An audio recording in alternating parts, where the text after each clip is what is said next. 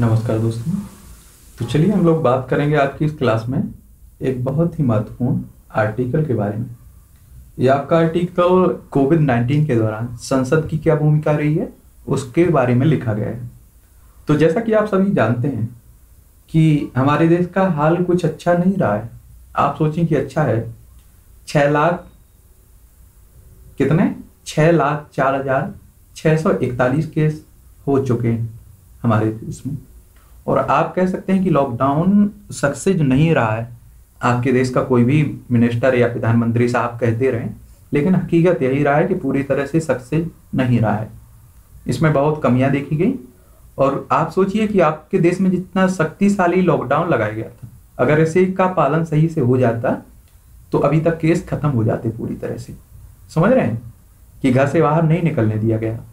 फिर भी आप सोचिए कहीं ना कहीं कुछ कमी देखी गई तो उसी संसद की बात की जा रही है तो देखते हैं क्या क्या इसमें बताया जा रहा है। कोविड नाइन्टीन महामारी से जूझते हुए कई महीने बीत चुके हैं, लेकिन इस दौरान भारतीय लोकतंत्र की महत्वपूर्ण संस्था, संसद की कार्यशैली, कई विद्वानों में, ने सवाल, जो संसद की कार्यशैली है, इस पर कई विद्वानों ने सवाल खड़े किए हैं। एक बात आप लोग हमेशा याद रखिए कि आपको अपना ख्याल खुद रखना है। सरकार आपका ख्याल नहीं रखेगी। उसने साफ़ कर दिया है। और ये कोरोना अब लंबी रेस है आपके साथ इसकी। तो डब्ल्यू एच ओ भी बोल चुका है कि अभी ये अपनी पीक पर नहीं पहुँचा है। यानी कि सबसे बुरी स्थिति अभी आने बाकी है। तो आप बने रहिए अच्छे से, अपना ख्याल रखिए। और जब तक वैक्सीन नहीं आ जाती है, तब तक घर से मत निकलिए। जो काम है अगर तो ज़रूरी है, तभी निकलिए। अपनी पूरी व्यवस्था के साथ सुरक्षित स्थिति में निकलिए। संसद। संसद भारत सरकार का विधायी अंग है। भारतीय संविधान में संसदीय प्रणाली अपनाए जाने के कारण देश की लोकतांत्रिक व्यवस्था में संसद एक विशेष स्थान रखती है। भारतीय संविधान के भाग पाँच में संसद के गठन, संरचना, अवधि, विशेष अधिकार, शक्ति, प्रक्रिया आदि के बारे में वर्णन किया गया संसद के तीन अंग कौन कौन सी? भारत के राष्ट्रपति, राज्यसभा, इसे द्वितीय सदन कहते हैं, उच्च सदन या फिर काउंसिल ऑफ़ स्टेट्स लोकसभा यह प्रथम सदन है, लोकप्रिय सदन, या फिर इसे निम्न सदन कह देते हैं हाउस ऑफ़ द पीपल राष्ट्रपति होता है, इसे आपकी लोकसभा, राज्यसभा और विधानसभा के निर्वाचित सदस्य मनोनीत चयन करते हैं इसका, यानी कि वही चुनते हैं राष्ट्रपति को। लेकिन राज्यसभा के जो सदस्य होते हैं, इन्हें आपकी विधानसभा के सदस्य चुनते हैं। कौन? एमएलए चुनते हैं। ठीक है? और लोकसभा सदस्य होते हैं, इन्हें आपकी डायरेक्ट जनता चुनती है। ठीक है, लोकसभा सदस्यों को। संसद से संबंधित अन्य महत्वपूर्ण तथ्यों की बात अगर हम लोग करें तो संसद के निम्न सदन, लोकसभा के अध्यक्ष का पद, लोकसभा का अध्यक्ष एक आधारभूत पद होता है।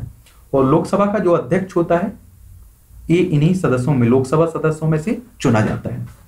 इसके विषय के बारे में कहा गया है, कहा जाता है कि संसद के सदस्य अपने संसदीय निर्वाचन क्षेत्र का प्रतिनिधित्व करते हैं, जबकि अध्यक्ष सदन के पूर्ण अधिकार का प्रतिनिधित्व करता है। लोकसभा अध्यक्ष को संसदीय लोकतंत्र की परंपराओं के सच्चे अभिभावक अभिभावक के रूप में देखा जाता है। लोकसभा के नियमों के अनुसार सदन का नेता या फिर प्रधानमंत्री से है। यदि वह लोकसभा का सदस्य हो तो इस प्रकार राज्यसभा में सदन का नेता प्रधानमंत्री द्वारा नामित कोई ऐसा मंत्री होता है जो राज्यसभा का सदस्य हो। ठीक है? ए, एक बात हमेशा याद रखिए। राज्यसभा का जो सभापति होगा वो आपका राष्ट्रपति होगा। वो राज्यसभा का सदस्य नहीं होगा, लेकिन जो उपसभापति होगा, वो आपका राज्यसभा का सदस्य होगा। एक बात यहाँ नोट कर लीजिए, ठीक है? संसद किसी भी, किसी सदन में उनकी, उसकी कुल संख्या से कम से कम दस प्रतिशत सीटें हासिल करने वाली सबसे विपक्षी पार्टी का नेता सदन में विपक्ष का नेता कहलाता है। यानी कि आपके पास सौ सीटें, उसमें से अगर आपको दस सीटें हैं आपके पास तो आप विपक्ष के नेता कहलाएँगे। लेकिन आप देखते हैं कि सोलहवीं और सत्रहवीं लोकसभा में किसी के पास दस दस प्रतिशत सीटें नहीं आई हैं। तो लोकसभा में किसी का कोई भी विपक्ष का नेता नहीं है। इसका मुख्य कार्य सरकार की नीतियों की रचनात्मक आलोचना करना तथा वैकल्पिक सरकार का गठन करना है। लोकसभा और राज्यसभा में विपक्ष का नेता को वर्ष उन्नीस सौ सतहत्तर में वैधानिक दर्जा दिया गया। विपक्ष के नेता को कैबिनेट मंत्री के समकक्ष वेतन, भत्ते, सुविधाएँ उपलब्ध होती हैं, जो विपक्ष का नेता होता है। संसद के प्रमुख कार्यों की बात करें तो देश की व्यवस्था चलाने हेतु विभिन्न प्रकार के कानूनों की आवश्यकता होती है, जिन्हें केंद्रीय विधायिका या फिर संसद द्वारा बनाया जाता है। संसद संसदीय कार्यवाही के विविध साधनों के द्वारा कार्यपालिका आम बोलचाल में सरकार की जवाबदेही को सुनिश्चित करता है। संसद सदस्य पूरे देश के अलग अलग हिस्सों से आते हैं, अतः वह अपने संसदीय क्षेत्रों के क्षेत्र के मुद्दों को संसद में उठाती है। यानी कि जो संसद कहाँ सदस्य जहाँ से चुना जाता है, उसी क्षेत्र की मतलब देखभाल करता है। वहीं के जो मुद्दे रहते हैं, उन्हीं को उठाता है संसद में। संसद में राष्ट्रीय महत्व के विषयों एवं मुद्दों पर सार्थक चर्चा होती है और इन विषयों पर सरकार की क्या प्रगति है, यह भी जानने को मिलता है। सरकार अर्थात कार्यपालिका के खर्चों को संसद द्वारा स्वीकृति प्रदान की जाती है। एक बात आपसे पूछेंगे, उत्तर प्रदेश का आप उदाहरण ले लीजिए। यहाँ आपके अस्सी कितने हैं? अस्सी हैं लोकसभा सदस्य। इकतीस हैं आपके राज्यसभा सदस्य। उसके बाद 403 के करीब है आपके लोक, राज्यसभा, विधानसभा सदस्य। आप सोचिए, सोनू सूद ने जो काम किया है, अगर ये नेता करते आपके तो मुझे नहीं लगता है कि कोई इंसान मरता भूख से, या फिर रेल की पटरी पर आके मरता, या फिर राय चलते हुए किसी महिला को, बच्चे को जन्म देने की नौबत आती। अब आप सोचिए कि नेता, वो नेता नहीं रहे हुए जो आपके लिए जान दे दें आपका वोट देना आपका काम है, केवल सरकारें बनाना गिराना, किसके साथ मिलना है, किसके साथ क्या करना है, वो सरकार का काम है। आपका काम रह गया, जनता का काम सिर्फ़ वोट देना। उसके बाद आपका कोई महत्व नहीं है उनकी नज़रों में। समझ में आए और कोविड नाइन्टीन यानी कि कोरोना वायरस की महामारी के समय भी आप लोग बेहतर तरीके से समझ चुके हैं कि आपका साथ देने के लिए कोई नहीं आता है। आपका अगर पड़ोसी से संबंध है, तभी साथ देते हैं। इसीलिए कहते हैं ना कि राजनीति अपनी जगह होती है, आप लोग कार्यकर्ता हैं। आपकी इतनी हैसियत नहीं है कि कोई नेता आपसे डायरेक्ट मुसीबत के समय में मिले। इसलिए पड़ोसियों से हमेशा संबंध अच्छे रखें, ठीक है? और अपनी दम पर निकले, जहाँ भी निकले। विश्लेषण की बात करें, कुछ महीनों से देश कोविड नाइन्टीन का महामारी का सामना कर रहा है। इस दरमियान देशव्यापी लॉकडाउन ने लोगों के समक्ष आर्थिक से लेकर अन्य प्रकार की समस्याएँ उत्पन्न की है। विशेषज्ञों का मानना है कि इस स्थिति में संसद को सत्य आयोजित करना अति आवश्यक था, लेकिन ऐसा नहीं हुआ जो इस महत्वपूर्ण संस्था की कार्यपालिका पर प्रश्न चिन्ह लगाता है। संसद चलाने की छोड़िए आपने किसी मंत्री या विधायक को रोड पर चलते हुए मजदूरों की मदद करते हुए नहीं देखा होगा? या कोई गरीब मर रहा है, उसकी विधानसभा में क्षेत्र में हो या फिर लोकसभा क्षेत्र में हो, संसदीय क्षेत्र में हो, कोई कहीं नहीं निकला, घर से बाहर नहीं निकले। ठीक है? अब मैं किसी की पर्टिकुलर बुराई नहीं कर रहा हूँ। फिर चाहे आपकी किसी भी पार्टी का मेंबर हो, कोई आपको रोड पर दिखाई नहीं दिया है। ये हमारे देश के दुर्भाग्य है, हमारे देश का। और जनता का इससे बुरी स्थिति कभी नहीं आ सकती है। ठीक है? केंद्र सरकार ने कोविड 19 महामारी के प्रसार को रोकने हेतु आपदा प्रबंधन अधिनियम 2005 के तहत लॉकडाउन लगाया था। क्योंकि भारत में महामारी को रोकने हेतु अन्य कानून नहीं है। विशेषज्ञों का कहना है कि अब लॉकडाउन पहली बार लगाया गया था। उस समय संसद का सत्र चल रहा था। तो संसद कोविड 19 महामारी के संबंध में एक विशेष कानून को पारित कर सकती थी, किंतु दुर्भाग्य से ऐसा नहीं हुआ। एक बात आप लोग हमेशा याद रखिए, समझ लीजिए, कि आज जो आप कर रहे हैं वो कल इतिहास में उसका चर्चा होगी उस पर बातें की जाएँगी, और उसके बाद आप पर लानत ठहराया जाएगा कि आप लोग ऐसे थे, हमारी पीढ़ी हम लोग ऐसे थे, हमें लोग धिगारेंगे आज जो आप लोग नेहरू को पंडित जवाहरलाल नेहरू आपके गांधी जी हो गए, सुभाष चंद्र बोस, ऐसे नेताओं को आप लोग गाली देते हैं? ऐसा ही एक समय पर आने पर इनसे बुरी, उनकी स्थिति ठीक है। गांधी जी, नेहरू साहब की और सुभाष चंद्र बोस साहब की इन सभी नेताओं की बहुत स्थिति है और शायद वो अपनी, उनकी आत्मा ने जो किया अच्छा किया। उन लोगों ने जो किया अच्छा किया। लेकिन आप एक बात समझ लीजिए, हम लोग कभी अच्छा नहीं कर रहे एक समय आएगा, हमारी पीढ़ी आएगी। उसके बाद देखना आप धिक्कारे जाएँगे हम लोग। क्योंकि ऐसा कुछ भी नहीं करा है। रोड पर जब कोई माँ बच्चे को जन्म दे रही हो तो क्या इतिहास में लिखा जाएगा? समझ में आया कभी? आज नहीं हम लोग आज कह रहे हैं कि ये सही है ये नेता सही है, वो सही है। ये सब इतिहास में गवाह रहेगी ठीक है? क्योंकि आप देखते हैं जो भी होता है आज, इतिहास बनता है। कोविड नाइन्टीन महामारी के दरमियान कार्यपालिका ने कई महत्वपूर्ण मुद्दों पर निर्णय लिया। लेकिन ये सभी संसद निर्णय संसद की समीक्षा से बाहर है, क्योंकि लॉकडाउन की स्थिति में संसद का सत्ता आयोजित नहीं हो सका है। केंद्र सरकार ने हाल ही में आत्मनिर्भर अभियान के तहत 20 लाख करोड़ के पैकेज की घोषणा की है। यह धनराशि भारतीय अर्थव्यवस्था को सुदृढ़ता प्रदान करने हेतु घोषित की गई है। किंतु जो विशेषज्ञ हैं, उनका कहना है कि भारतीय संविधान में ने संसद मुख्यतः लोकसभा को राष्ट्रीय वित्त के नियंत्रक हेतु विशिष्ट शक्तियाँ सौंपी हैं। देश की कार्यपालिका या सरकार के पास बिना संसद की मंजूरी के धन व्यय करने का अधिकार नहीं है। इस हेतु प्रत्येक वर्ष वित्त मंत्री द्वारा लोकसभा में इसकी मंजूरी के लिए बजट प्रस्तुत किया जाता है। इसके साथ ही लेखा समिति एवं प्राकलन समिति तथा नियंत्रक एवं महालेखा परीक्षक व्यय की वैधता की जाँच करते हैं और संसद में चर्चा के लिए रिपोर्ट प्रस्तुत करते हैं।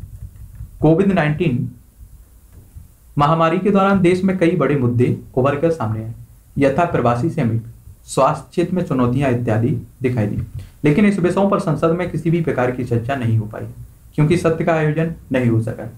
कोविड नाइन्टीन के आने से पहले हमारे, आने से कुछ अच्छी हमारे साथ चर्चा, बातें हुई। हैं जैसे हमें मालूम चल गया कि कौन हमारा हितैषी है, कौन नहीं है। श्रमिकों यानी कि मजदूरों, गरीबों का कौन सही में भलाई करने वाला है, कौन नहीं। स्वास्थ्य क्षेत्र की आप व्यवस्था देख सकते हैं कि उजागर हो गई कि क्या स्वास्थ्य की कमियाँ हैं हमारे। नेता भाषण दिया करते थे कि हमारे पास इतना अनाज उपलब्ध है कि पाँच साल तक हम जनता को बैठा के खिला सकते हैं। कोई कहता था तीन साल के लिए। इस महामारी के दौरान पता चल चुका है कि कौन कितने पानी में था। ठीक है? संसद की समितियाँ कार्यपालिका पर एक वॉच डॉग की तरह कार्य करती हैं। किंतु इनका भी महामारी एवं लॉकडाउन के कारण कार्य प्रभावित हुआ है। यदि संसद के सत्र का आयोजित होता तो विपक्ष का नेता भी सरकार के उन मुद्दों की ओर ध्यान आकर्षित करता है। जिन पर कोविड नाइन्टीन महामारी एवं लॉकडाउन के दौरान सरकार से चूक हुई है। कोविड नाइन्टीन महामारी के पहले भी संसदीय व्यवस्था में अन्य चुनौतियाँ विद्यमान थी। लोकसभा अध्यक्ष पर समय समय पर यह आरोप लगता है कि उनके निर्णय सत्ताधारी पार्टी की तरफ़ अधिक झुकाव रहता है। अन्य देशों में देखिए आप लोग, ब्रिटेन में देखिए लोकसभा अध्यक्ष का क्या काम रहता है? वहाँ के अध्यक्ष, कि जिस समय लोकसभा अध्यक्ष बनेगा, उसी समय अपनी पार्टी से इस्तीफा दे देगा। और जब तक वो लोकसभा का चुनाव, यानी कि क्षेत्र से, अपने क्षेत्र से चुनाव लड़ेगा, उसके खिलाफ किसी भी पार्टी का कोई भी मेंबर नहीं उतारा जाएगा। किससे, इससे यह होता है कि लोकसभा जो अध्यक्ष होता है, वो बीस का रास्ता चुनता है। यानी कि ना तो सत्ताधारी पार्टी की तरफ़ होता है, ना ही विपक्ष की तरफ़। हमेशा न्यूट्रल रहता है। और अब आप सोचिए, अभी लोकसभा अध्यक्ष विपक्ष की तरफ़ अगर बोलने लग जाए तो अगली बार इसकी सत्ताधारी जो पार्टी है, जिसका ये सदस्य है, वो इसका टिकट काट देगा। तो समझ रहे हैं हम हमारे साथ यही तो होता है। कि आप सोचिए कि वो उसी का पक्ष लेगा ना, जिसे उससे कुछ मिल रहा हो। प्रधानमंत्री या प्रधानमंत्री द्वारा नामित दोनों सदन के नेता की कार्यप्रणाली पर भी सवाल उठाए गए।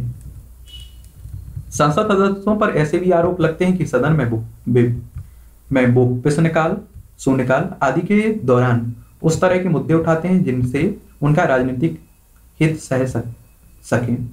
किसी भी सुदृढ़ राजनीतिक व्यवस्था के लिए एक मज़बूत विपक्ष का होना अति आवश्यक है।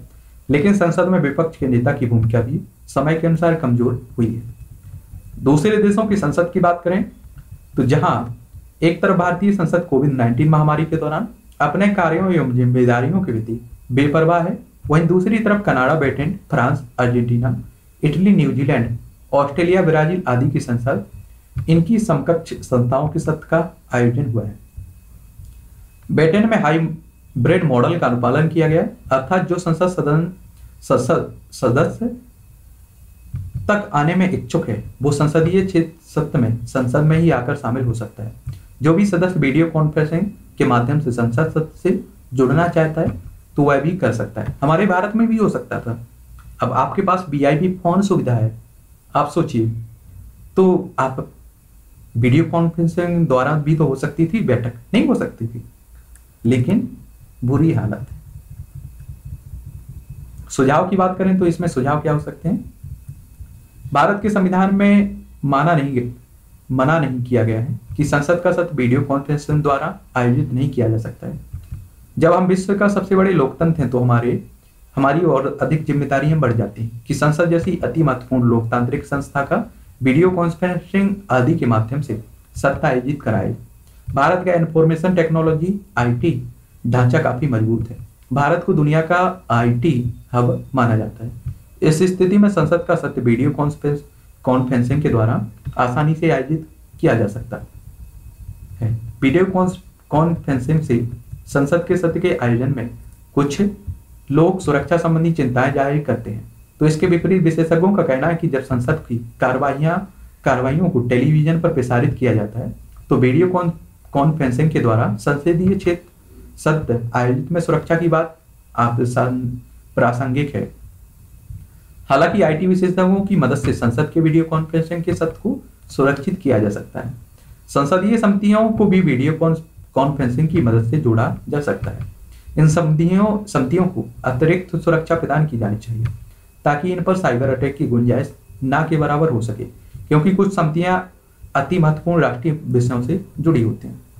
इसमें निष्कर्षता क्या कह सकते हैं? कोविड नाइन्टीन महामारी में लगभग सभी क्षेत्रों को अमल चूक से, रोग से प्रभावित किया गया इनके समक्ष विविध चुनौतियों को उत्पन्न किया गया है। इन चुनौतियों से निपटने हेतु सरकार के सभी अंगों, कार्यपालिका विधायिका, न्यायपालिका को मिलकर कार्य करने की आवश्यकता होती है। तो ये कहानी थी आपकी संसद की। एक बात आप लोग हमेशा याद रखिए कि जनता हमारे देश की बहुत भोली है, बेचारी।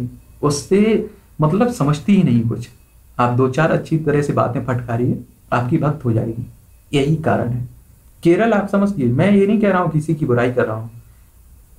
आप सही हैं, आप अगर भक्ति में जुटे हुए हैं, आप सही हैं, मुझे लगता है। मैं गलत हूँ।